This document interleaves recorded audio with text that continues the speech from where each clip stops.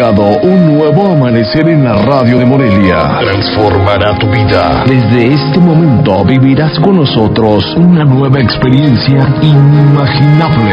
Es tiempo de despertar. Hazlo aquí y ahora. Es tiempo de despertar. Bienvenidos, al que cree. Todo le es posible. Comenzamos. Muy buenos días, muy buenos días tengan todos ustedes esta mañana. Esto es Tiempo de Despertar. Les saludamos con muchísimo gusto en este es sábado. Sábado 30 de, de junio, ya terminamos Se junio. acaba junio, wow. Último día de las graduaciones, yo me acuerdo que antes era, este, este era el día de graduaciones, este era el día de, de- de- de que ya se acababa todo, de, de- de- de que alzábamos todos los cuadernos y quemábamos todos los que ya no iban a servir. Recuerdo eso, eso en, en la, a nivel, más o menos a nivel secundaria, por ahí, a nivel de la prepa, esto era en el seminario. Bueno, pues eh, ese era el último día y ahí ese día se, se leían las calificaciones y, y adiós y vámonos. Eh, vamos al mes de misiones en todo julio. Interesante, interesante. Es- es- yo espero que ahora todos los que están graduando pues eh, también este, disfruten eso. Es un paso, es un paso apenas, el principio de algo. Pero como cada escalón es bueno subirlo, sí, en, en los escalones de la vida. Les saludamos en esta mañana, mi estimado eh, este Joaquín, ¿cómo estás? Muy bendecido, pastor, muy buenos días aquí disfrutando de, de la nueva misericordia de nuestro Señor Jesucristo, gozándonos y, es, y dispuestos a escuchar la palabra de Dios. Eso es bueno, la disposición, la actitud con la que usted se levante esta mañana ya la hizo. Y, y este día es un día maravilloso, es el día que hizo el Señor, dice la Biblia, nos gozaremos y nos alegraremos en Él. O sea, alégrese, levántese contento esta mañana, dele gracias a Dios por este nuevo día y además es un sábado, es un sábado de, de, de, de, este- De spa. De spa, de, trabajar, dice acá, es para hacer el quehacer, ¿no? Bueno, también, no, no, no, no está por demás eso, pero, pero es un sábado para, para descansar también. A lo mejor usted está trabajando, bueno, le acompañamos también esta mañana y nos encomendamos a Dios dándole gracias en este día. Ah, ¿Se acuerda lo que dice el Salmo 37, versículo 3? Dice, confía en Dios y qué? Y haz el bien. Confía en Dios y qué? Haz el bien. Sea, dos cosas. Uno, ten fe en Dios y haga el bien. Ya empezamos bien con eso. Si usted confía en Dios, hace el bien. Y el tercer punto es, dice, dice, deleítate en el Señor. ¿Y entonces qué? Él te concederá las peticiones de tu corazón. Él le concederá el deseo de su corazón. Oh, yo me acuerdo de un, de un predicador que decía, el deseo cumplido de Dios en tu corazón. Le damos gracias a Dios por ello. Y entonces vamos a encomendarnos al Señor, porque el siguiente versículo dice, encomienda al Señor tu camino y te irá bien. Oremos, Padre, te damos gracias esta mañana, Dios de los cielos, por este tiempo aquí a través de las ondas de la radio. Señor, bendecimos tu nombre, glorificamos tu nombre en este día, pedimos sabiduría del cielo y entendimiento de lo alto para comprender las escrituras, pero también pedimos perdón por nuestros pecados, por aquello que no te agrada, Señor, bendícenos, Padre, con el perdón, con la misericordia y con la gracia. Señor, tu palabra dice que si confesamos nuestros pecados, tú eres fiel y justo para perdonarnos y limpiarnos de toda maldad.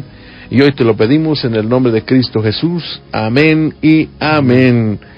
¿Cómo está mi estimado Ram? Buenos días. Buen día, pastor. Buen día al auditorio. Ya listos para compartir de la palabra y disfrutando de esta mañana fresca. Nuestros teléfonos, mi estimado Joaquín. Claro que sí, pastor. En cabinas el 324-44-66. Y para mensajes o WhatsApp 44-33-2505-68. Llámenos. Ok, Dios le bendiga en esta mañana. Esto es tiempo de despertar y pues un, un día un día maravilloso. Te decía yo, 30 de junio es un día especial, es el día que hizo el Señor y es el último día de junio y ya se acabó la mitad del año. Así ¿Sí no? es. Porque este es el mes sexto. Sexto Y- mes, mañana iniciamos El- el, séptimo. Es la segunda parte del, del año, del año 2018. Imagínate, Eh, no, no, no, no, no. Esto, esto va caminando muy rápido. Eh, solo nosotros seguimos igual. Eh, no hay que, hay que ser optimistas. No me mires así. Dios, Dios le bendice a usted que está esta mañana con nosotros. Y pues vamos a hablar de la palabra de Dios leyendo los Salmos. En el capítulo 72 del libro de los Salmos dice el versículo 12, porque Él, refiriéndose a Dios, librará al menesteroso que clamare. Lo vuelvo a repetir, porque Dios librará al menesteroso que clamare y al afligido que no tuviere quien le socorra. Y tendrá misericordia del pobre y del menesteroso, y salvará la vida de los pobres, de engaño y de violencia redimirá sus almas y la sangre de ellos será preciosa ante sus ojos. ¡Wow! Mire, un, un, tema que pocas veces tocamos y que es tan importante, la pobreza y la soledad. dice, dice este, este primer versículo de los que estamos leyendo, el versículo 12, ¿lo tienes ahí? Dice, porque Él librará al menesteroso que clamare, y al afligido que no tuviere quien le socorra. Al que está solo, dice el afligido, o sea, que está preocupado y que está en soledad. Mire, muchas, muchos de los, de los problemas que, que el ser humano pasa eh, se concentran en estas dos cosas. ¿Sí? Eh, este, eh, el, el, el, detalle de, de, esto es, dice, dice, porque Él librará al menesteroso. Dios librará a quién? Al menesteroso. ¿Y quién es el menesteroso? Es el indigente es el, es el pobre, es el que no tiene los recursos, es el, es el que, anda mal económicamente y no solamente económicamente, sino en sus emociones. Ese es, eh, dice, Dios librará pues a esas, a esas personas y, y, al afligido que no tuviere quien le socorra. Dos cosas interesantes. Y mire, hoy como nunca se ha hablado de los pobres. Sí y se habla de los pobres y todo el mundo habla de los pobres y nadie ve dónde están los pobres. nadie ve por los pobres. Eso es lo que estamos viendo. ¿sí? Hay, se, ha, se ha hecho hasta una sociología. La sociología ¿Qué es la sociología? Es el estudio de la sociedad. El estudio del, del, de la sociedad, de las personas que conviven. Y, y la sociología estudia la pobreza eh, en, en, eh, por una por un es una es un área es un es una cara del, de la sociedad la pobreza es la, la, es la cara menos bonita de la del, del, de la sociedad. Y, y, y que y, y, que aprovechan muchos sí para hablar y para hacerse este de, eh, ¿cómo, te, ¿cómo le diré? para llegar para llegar a donde ellos quieren llegar como nunca este siglo, es el, siglo XX y parte del XXI en lo que llevamos, este, se ha hablado de la pobreza. ¿sí? Pero Jesús habló primeramente de la pobreza. Jesús hablaba de los... Él dijo una frase que está allá en el, en el libro de San, San Marcos, creo es, o San Juan, capítulo 12, versículo 8. San Juan, capítulo 12, versículo 8 dice esta, esta frase, es muy famosa, y, y, y, muchos de ahí se han tomado y se han colgado para, para hacer sus campañas. dice, capítulo 8, dice, porque, capítulo 12, versículo 8. Dice, porque a los pobres siempre los tendréis con vosotros, mas a mí no siempre me tendréis. ¿Qué es lo que está diciendo? A los pobres siempre los van a tener, siempre va a haber pobres haga lo que, lo que haga el, ser humano, las, las sociedades, pobres siempre van a haber en la sociedad. Ahora, no estamos este, conformándonos, no somos un país conformista, ni nosotros como personas somos conformistas, pues que el que eh, pobre del pobre, sí, sí, sí, no, no, no, no. Nosotros estamos viendo, hoy queremos ver la pobreza y la soledad desde, desde el campo de vista espiritual. ¿sí? No de la sociología, porque hoy este, los, los políticos, ah, ah, como han mordido de este pastel. Todo mundo enarbola la bandera de la pobreza. Y todo el mundo dice, la pobreza extrema. No sé si has oído eso, tú, Ram. Así es, y inclusive uno, por ahí escuché que uno de los candidatos decía que él, en su gestión, había sacado a dos millones de pobres. No, sí, y ahora hay otro que promete acabar a los pobres. Yo creo que fusilándolos nada más, porque porque la Biblia dice que siempre siempre va a haber pobres, siempre va a haber pobreza en cualquier este estilo de gobierno, en cualquier estilo de, de, de, de sociedad, de, este va a haber gente gente que tiene menos y gente que tiene más. Mira, el, el comunismo trató de llegar a eso. No, es que Jesús siempre fue comunista y mire, ya cuando empiezan a hablar de esas cosas, a mí sí me duele, la verdad me duele porque lo, lo hacen ignorantemente. Ahora, puede ser que ignorantemente peque, pero el que ignorantemente peca, de todos modos es responsable de su, de su, de su pecado. Ah, ok, entonces han hablado de, de esto, sobre todo los, los, los rusos. Fíjate, vea, vea, hoy, hoy que están de moda los rusos por el mundial. ¿Dónde quedó su comunismo?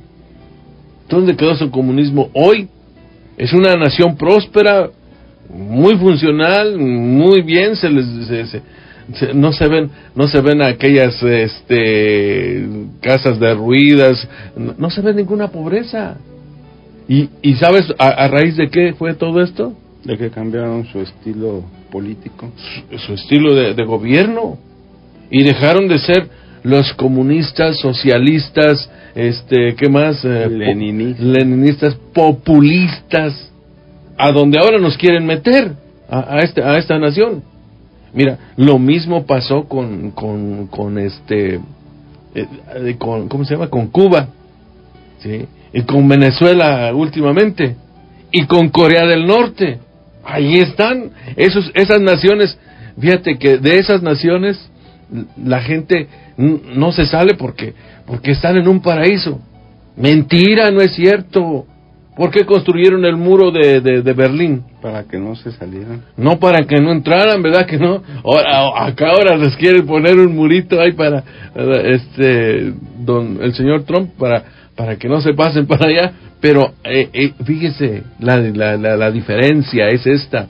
En aquellos el muro era para qué? Para que no se salieran. La cortina de hierro en Europa Oriental, la que dividió eh, Europa Oriental de la Europa Occidental, fue eso. ¿Sí? Y, y Rusia, hoy, hoy, ya que se tiró esa, esa, ese muro, que cayó ese muro en el 1991, de 1991 a 2018 van 37 años. De esos 37 años, mira, mira cómo ha prosperado, cómo, cómo han progresado esas naciones. O sea, eh, eh, solamente el que no quiere ver, este, no ve la, la, la, bendición, vaya, porque le diga así, la prosperidad en, en, en, este, en este tipo de gobiernos. Ahora, ¿ves China? Hoy China es una nación es una potencia mundial. Yo creo que es la primera potencia mundial. Yo sinceramente creo que es la potencia mundial número uno. ¿Por qué? Porque hoy tú ves los... ¿Sabes que se construye un rascacielo de esos de 80 pisos, eh, 70, cada, cada, cada cuatro días? A, esa velocidad se están construyendo. Cada cuatro días, eh, en promedio, se está haciendo un, un edificio de ese tamaño. Yo me quedé así como espantado diciendo, ah, pero ahora, fíjese, ok, sí hay, sí hay, sí hay este prosperidad, sí hay riqueza, pero los pobres siempre van a existir. Yo un, un, día estaba en, en, en, una ciudad, bueno, le voy a decir en dónde, estaba en Denver y pasé por un crucero este, de esos, pues, no grandes, y allá es muy, muy raro que la gente camine por las banquetas, ¿no? Pero ese era un crucero hacia una, hacia un, ¿cómo se llama? Los suburbios, hacia uno de los suburbios, hacia un fraccionamiento, pues, para, para que me entienda. Y, y yo vi a una persona, a un güero con ojos de color, con unas greñas güeras hasta hasta hasta acá hasta los hombros hasta los hombros y, y, todo desaliñado y, yo dije y eso y eso y, decía aquí o sea denme unas monedas sí sí sí y wow y, le pregunto a mi cuarto con el que iba yo y le digo oye y y y, y me dice pues es un pobre pero ese es güero no se supone que los pobres son los son, los latinos. Dice, no hombre, también los güeros están pobres. ¿Sí? Ahora, yo no sé por qué llegar, ni quiero juzgar, ni voy a juzgar, pero lo que yo le quiero decir es que hoy le voy a enseñar algo eh, que está en la palabra de Dios, que no me lo estoy inventando, cómo salir de la pobreza, cómo salir de la angustia y la aflicción que causa la soledad. Porque no, digo que sea consecuencia, porque muchas veces eh, el, que está, el que está en soledad no necesariamente tiene que ser pobre. Muchas veces la gente se siente sola, sobre todo en este tiempo, aún en medio de tanta comunicación y de tanto eh, movimiento. Hay soledad. Hay soledad. ¿Has visto toda esa cosa? La gente. Sí, sí, pues incluso hay gente que llega a tomar la decisión de quitarse la vida porque pues se siente solo, abandonado, sin esperanza. Sí, es, eh, eh, es, que no podemos negar esa situación.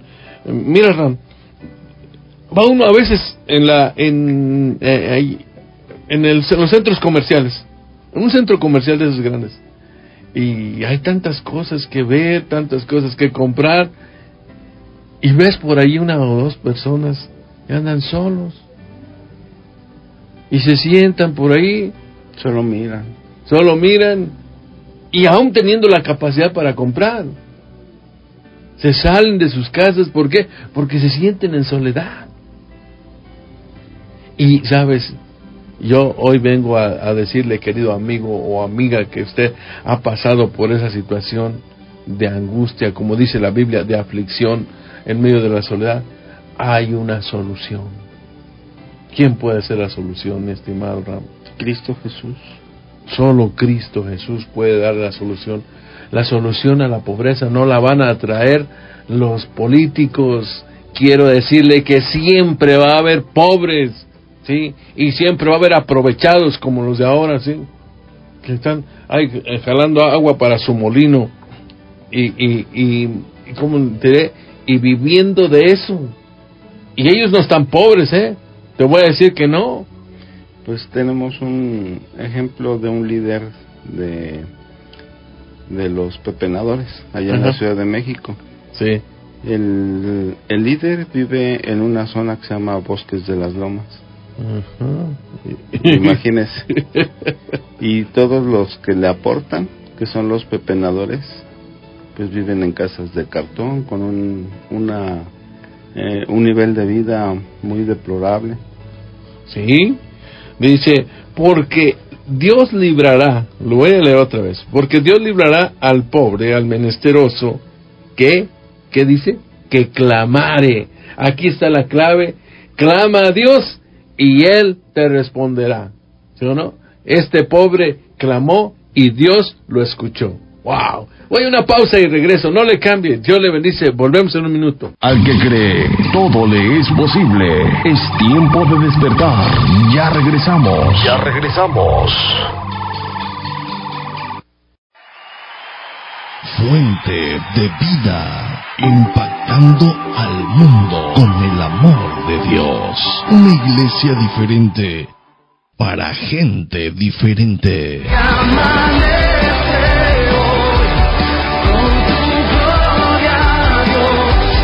Ven, acompáñanos a nuestras reuniones. Estamos ubicados en Calzada La Huerta 2273, jueves 6 de la tarde y domingo 10 de la mañana, 12 del día y 6 de la tarde. Lo mejor está por venir. Fuente de vida. Ya es tiempo de despertar. Hazlo con nosotros. Continuamos. Continuamos, continuamos, queridos amigos. Gracias por acompañarnos en esta mañana. Dios le bendice. Ánimo, ya levántese. Es sábado. ¿Cómo estás, Freddy? Hola, pastor. Sí, gracias. Sí, te levantaste. Con duda, sí. Venciste a Sabanás. Bueno, ya estás aquí. Qué bueno. ¿Cómo estás? Excelentemente bien, pastor. Como dijo el doctor Rey Estrada, reinando en vida y en libertad. Saludos por allá a toda la gente que nos escucha esta mañana. Donde quiera que usted se encuentre, Dios bendiga su vida. Es el deseo de nuestro corazón y es nuestra oración también. ¿Tienes a quién saludar, Ron? Sí, tenemos saludos para María José León, que cumple años. Para la familia León Cornejo, de parte de Oscar que nos escucha en Milwaukee, Wisconsin. Para Andrea Sánchez, Lupita Sánchez, mandamos saludos para Susana y Lupita. Y para Lupita y Luis Murillo. Ah, muchas lupitas. Muchas lupitas, sí, sí, sí, sí, sí. Coincidentemente, ¿verdad? ¿Tú tienes para quién, a quién saludar? Sí, pues ahora nuestro amigo Leo Dan, que yo creo que ya está preparando para irse al trabajo. Bendiciones. Y ah. también para la, la psicóloga Connie, que el día de ayer este, tuve el, bueno, el gusto de conocerle y dijo, estoy enamorada del Espíritu Santo. Y eso me, me gustó mucho. Qué bueno, qué bueno. Dios bendiga a ella y a todos, a todas las personas que nos están escuchando esta mañana. Yo quiero hacer énfasis en este saludo que dijiste hace un momento para Lupita y Luis Murillo, Lupita Guzmán y Luis Murillo. Y bueno, pues les invitamos, tiene rato que no los vemos en Fuente de Vida, esperamos verlos ya por ahí, ya, se acabaron sus vacaciones, ¿eh? porque algunos se toman vacaciones. Y me decía alguien, este pastor dice también los chinos hicieron una muralla dice hicieron su muro igual los de Jericó también hicieron muros. Sí tiene razón tiene razón. Pero era, otro propósito no, eh, eh, como él es, es, eh, vea usted cómo el, el éxodo de, de las personas en en este en Venezuela hacia Colombia eh, no sé, no sé también hacia Brasil o no sé, pero yo me he enterado no de eso. Y hacia México, es obvio, porque muchos muchos venezolanos están viviendo ahora en México. Dicen, alguien me decía que en la, en la Ciudad de México en los últimos años hay más de 100 mil venezolanos. ¿eh? Entonces, yo digo, ¿por qué huyes de tu, de tu paraíso? Sí, sí, sí. Eh, y, y es que el problema, el, problema es que puede haber dinero, pero si no hay recursos. Y cuando tú empiezas, eh, porque una de las cosas era que trataron de, de generar este, de darles gratis, ¿sí? Amados, así no funciona, nunca han funcionado las cosas, ¿sí? ¿Qué hicieron estas, este, e, e, estos gobiernos? Y estoy hablando de Rusia, estoy hablando de, de, este, de Cuba, de Venezuela, de Corea del Norte y muchos otros, ¿no? Pero, pero ahorita se me ocurren esos. Y, y, no, no han hecho nada. La gente siguió más hasta que volvieron otra vez al sistema político diferente. Eh, ahora que han vuelto al sistema capitalista que muchos han denigrado y han pero ha sido la forma como, como han salido. Y ahí tiene China. China hoy es la potencia número uno. ¿Por qué? Porque tiene mucha mano de obra, pero también tiene, son muy trabajadores. ¿Sí? Usted ve, los, chinos ya no solamente están en China.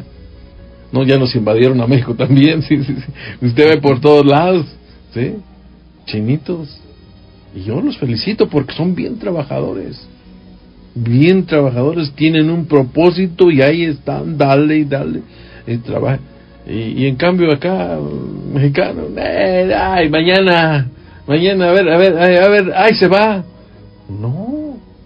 Eh, yo este, oía un, una referencia de, de, de unos yo no les compro a ellos porque pues no tengo que comprarles, pero porque ni la comida china, ¿verdad? Pero pero este pero me decía una persona que tiene negociaciones con ellos y me dice y dice, dice doctor, dice, estas personas, dice, llegan jóvenes, pero bien trabajadores, y, se apoyan uno al otro, y, han salido de su situación. Y digo, ¿y por qué los mexicanos no? Se puede, claro que sí se puede. Pero yo hoy quiero decirle lo que dice la palabra de Dios, no, no tanto sociológicamente, sino dice, porque Dios librará capítulo 72 del libro de los Salmos, versículo 12, porque Dios librará al menesteroso, es decir, al pobre, al indigente, que clamare, ¿sí? El que clama, ¿qué es clamar? ¿Qué es clamar, mi estimado Freddy? Pedir la ayuda de Dios. Exacto. Y, dice, eh, dice el Salmo 34, versículo 4, ¿verdad? Sí, te dije eso. Dice, busqué a Dios y Él me oyó y me libró de todos mis temores. ¿Sí? Y el versículo 6. Dice, este pobre clamó y le oyó el Señor y lo libró de todas sus angustias. Ok.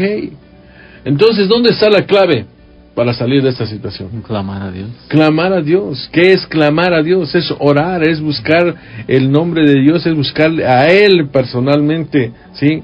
y, ponerse en contacto, como decía esta persona, estoy enamorada del Espíritu Santo. Usted enamórese de Dios, enamórese de Jesucristo y, del Espíritu Santo, es obvio, y, verá la gloria de Dios en su vida. No te he dicho que si crees, verás la gloria de Dios. Verás la gloria de Dios. Entonces, por ahí va la cosa. ¿Sí? Jesús dijo, no hombre, si a los pobres siempre los van a tener, pero a mí no siempre me tendrán. Así que, ah, eh, ¿qué es lo que... Póngase trucha. ¿Por qué? Porque ahora que, que tenemos la oportunidad, y digo, y lo digo así claramente, ahora que tenemos la oportunidad de predicar a Cristo y de tener ese conocimiento de Jesucristo, es, es el tiempo de salir de esa situación. Mire, una cosa es la salvación y otra cosa es la redención. Y la, y la salvación, ok, tú tienes ya vida eterna. ¿Por qué? Porque la promesa es de a todo aquel que en él cree, no más tenga qué? Eh, más tenga vida eterna. Más tenga vida eterna. Ahí está la salvación. Eso es salvación. Dice, a, a lo suyo vino, pero los suyos no lo recibieron. Pero a los que le recibieron, ¿qué? A los que creen en su nombre les dio potestad de ser hechos hijos de Dios. O sea, pasar a esa. pero la redención es otra cosa. ¿Sí? La redención es redimidos. Los redimidos son aquellos que Dios ha sacado de la situación donde estabas. ¿Sí? Y, y alguna, alguna de la situación, este, muchas veces es la pobreza. ¿Sí? Y Dios en su gran misericordia, y lo hemos dicho aquí, ayer lo decíamos, si Dios cuida de las aves, ¿qué? Si Dios cuida de las aves, ¿qué? ¿cómo no cuidará también de mí, por favor? ¿Sí? Si Dios cuida de los opilotes, y están re feos, y están re feos, sí, y los cuida, ¿cómo no cuidará también de mí que estoy guapo? Amén, sí, sí, sí. Digo, pues, nomás, nomás para que se ponga buzo. Esto es importante, queridos amigos. Demasiado importante. Ya basta de estar, ay, nada más ¿sí? decía alguien, ocupando lugar. No, es el tiempo de activar nuestras neuronas, de, activar nuestra alma. ¿Qué es el alma? Eh, donde se donde se encuentran los pensamientos, la voluntad y las emociones. Entonces hay que echar a andar la voluntad, las emociones, los pensamientos, hay que activarlos, active su alma. Este pobre clamó y lo escuchó el Señor. Y lo escuchó Dios. ¿Y qué más? Y me libró de todas mis angustias. De todos mis temores, de todas mis angustias. Y yo le dije que junto con pegado, que, que, junto con, con, la, con, la pobreza, ¿sí? muchas veces, no siempre, viene la angustia. Es que no tengo para comer, pastor. No tengo para mañana. Yo le decía eh, en los días pasados, uh, antier precisamente para ser exactos, yo predicaba sobre el afán, sobre la preocupación. No, hombre, si estamos dependiendo de, de nosotros mismos o dependemos del gobierno, nos vamos a morir. Tenemos que depender de Dios. Y, y, ese principio es contrario a lo que dice la palabra, porque en la palabra dice que el que no trabaja, que no trabaje, que no coma. Y aquí queremos darle gratis a todos los ninis. sí, es cierto. Sí, no, no, es que es que es verdad. y la palabra de Dios no se ha equivocado, ni se equivocará. Así de sencillo. Y, y, la palabra de Dios no está caducada. Estoy hablando de la Biblia. ¿sí? No caduca. Sécase la hierba, Marchítase la flor, mas la palabra del Dios nuestro permanece para siempre. Permanece. ¿Sabe qué? Esta mañana usted y yo tenemos que tomar una decisión, clamar a Dios. Porque a lo mejor usted dice, no, yo tengo hartos billetes, no soy pobre. No, pero ¿qué, le hace falta? Le hace falta paz en su corazón, le hace falta el gozo de vivir, le está haciendo falta algunas cosas. Y usted, y usted puede, puede hacer lo que dijo el salmista, este pobre clamó. Y Dios lo escuchó y lo libró de todas sus angustias. ¿Quién? Yo. Eso es lo que está diciendo. Yo soy testimonio. ¿Y quién lo dice? ¿Quién está David. El rey David. Un hombre que tenía bendición que sobreabunda. Voy a una pausa y regreso, no le cambie. Tiempo de despertar, volvemos en un minuto. Al que cree, todo le es posible. Es tiempo de despertar. Ya regresamos. Ya regresamos. Fuente de vida, impactando al mundo con el amor de Dios. Una iglesia diferente para gente diferente.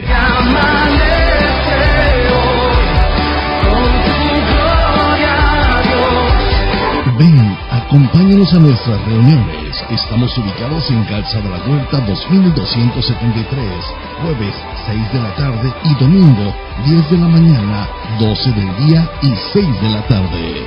Lo mejor está por venir. Fuente de vida. Ya es tiempo de despertar. Hazlo con nosotros. Continuamos.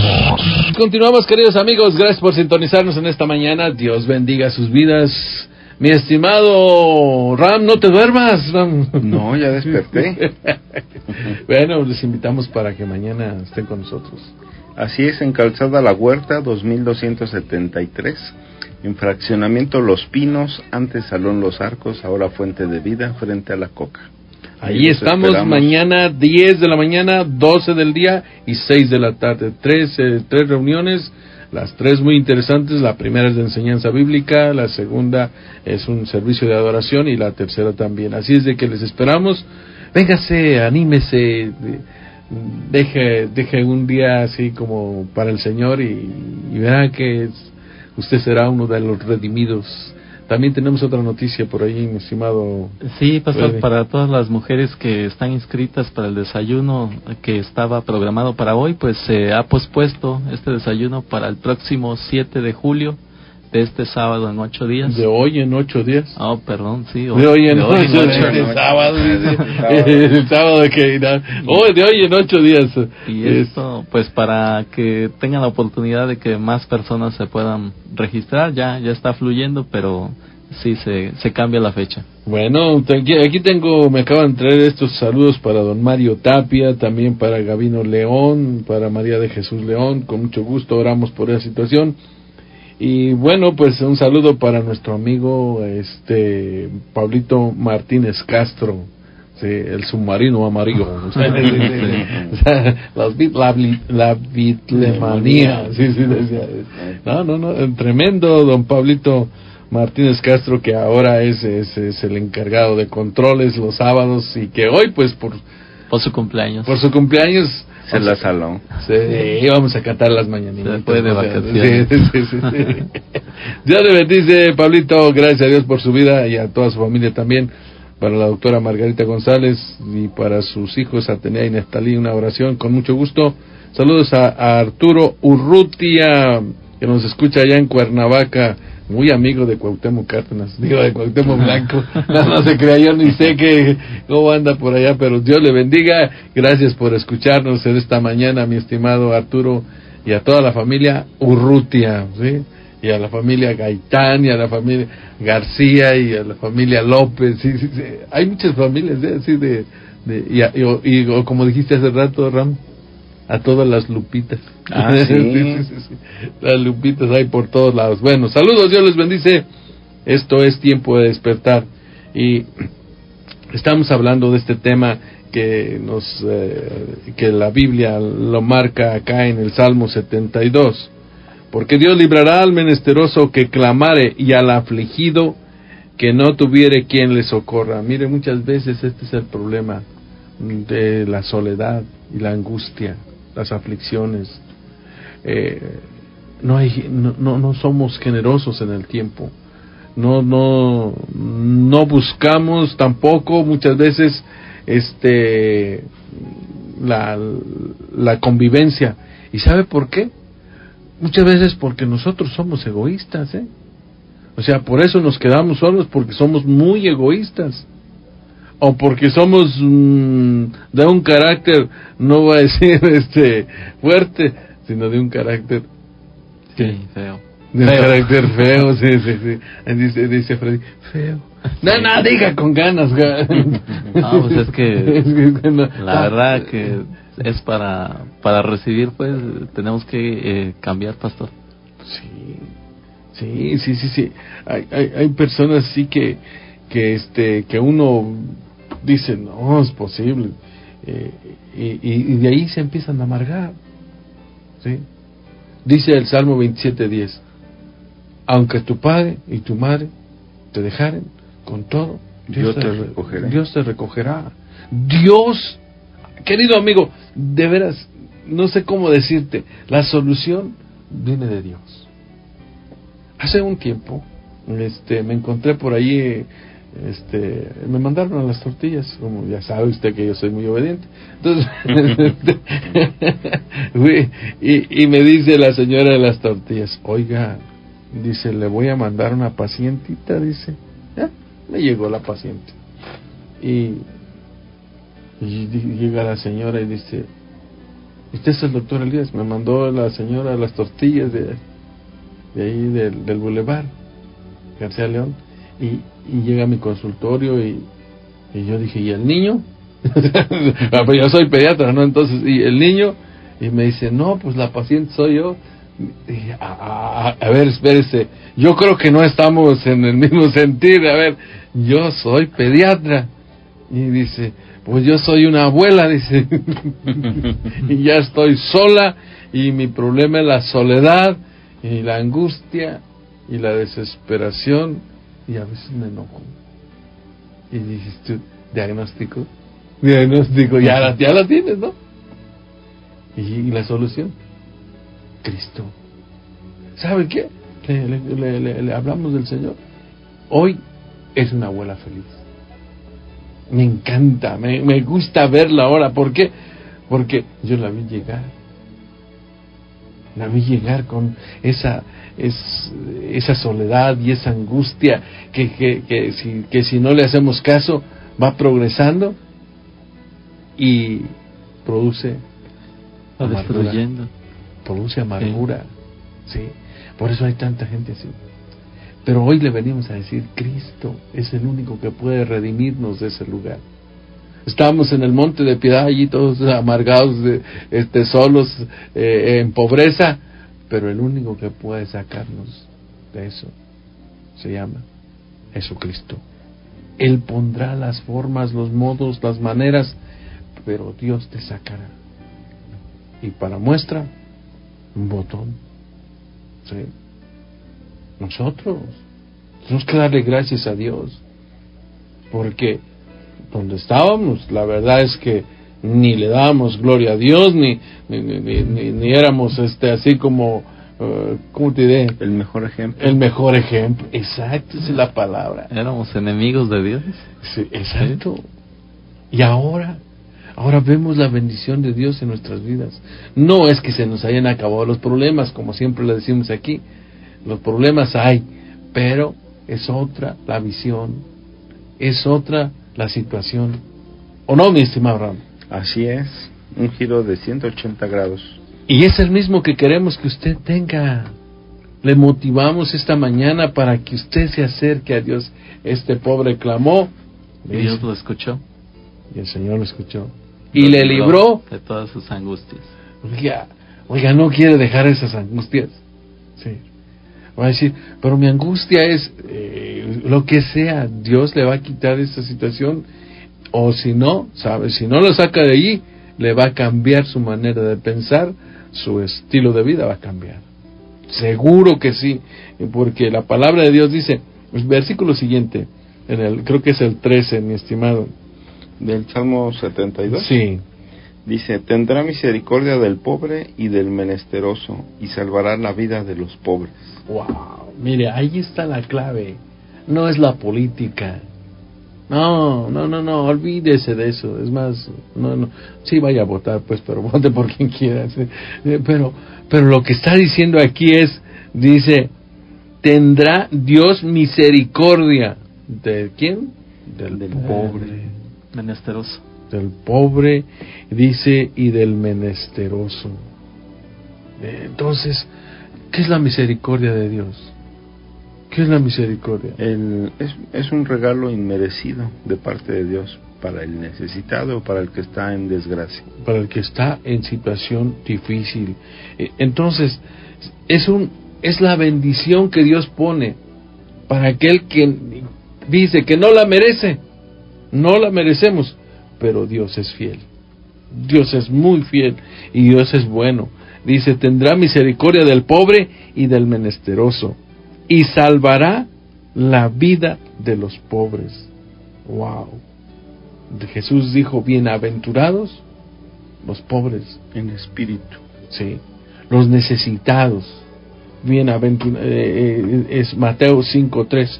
Y yo quiero que vea ese, en las bienaventuranzas y que usted las pueda leer allí en casita, tranquilo, y, podamos ver este ahorita aquí leer nada más el este San Mateo capítulo 5 versículo 3 lo tienes ahí qué dice bienaventurados los pobres en espíritu porque de ellos es el reino de los cielos. Wow ahí está. Querido amigo o amiga que me está escuchando una de las cosas más importantes es que Dios nos bendice doblemente dice. Dios bendice. Yo espero que usted Usted crea en la palabra de Dios, crea, créale a Dios y usted saldrá adelante. Dice, tendrá misericordia del pobre y del menesteroso y salvará la vida de los pobres de qué? Del engaño y de la violencia. Redimirá a sus almas. Porque el problema del pobre, dice, y de la gente, de la gente que está en aflicción, es el engaño y es la violencia dice, y Dios redimirá sus almas. Yo, que, yo le digo esta mañana, Dios tiene algo para usted y es la redención. Dios quiere sacarlo de esa situación de soledad, de angustia, de desesperación ahí donde usted está. No se quede allí. En el nombre de Jesús, levántese asista a una, una congregación donde se hable de doctrina sana del Evangelio y, y mire, y Dios abrirá puertas. Ore a Dios, lea la Biblia, cómprese una Biblia y empiece a leer.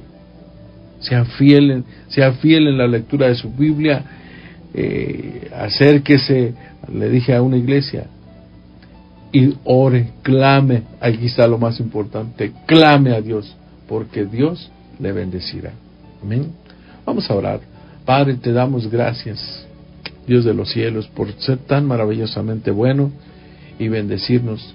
Hoy te pedimos perdón por nuestros pecados. Perdón por haber estado en esa soledad y en esa angustia sin saber que tú tenías la solución. Perdónanos y bendícenos, Señor. Te lo pedimos en el nombre de Cristo Jesús. Amén y amén. Nos despedimos, Ram. Bendiciones, bonito día. Nos despedimos. esperamos mañana en nuestras reuniones de Fuente de Vida. Recuerde que Dios es bueno y que al que cree, todo le es posible. Todo le es posible. Al que cree, todo le es posible, dice Marcos 9:23. No es un eslogan, es la palabra de Dios que la hemos tomado como, como un eslogan. al que cree todo le es posible. Y ore por nosotros, que nosotros oramos por usted. Y si Dios pone en su corazón, como lo decimos aquí, siempre en este ministerio, apóyenos económicamente para seguir predicando la palabra de Dios. Que Dios le bendecirá rica y abundantemente. Sea feliz, sonría, la vida es bella en Cristo Jesús. Hasta mañana.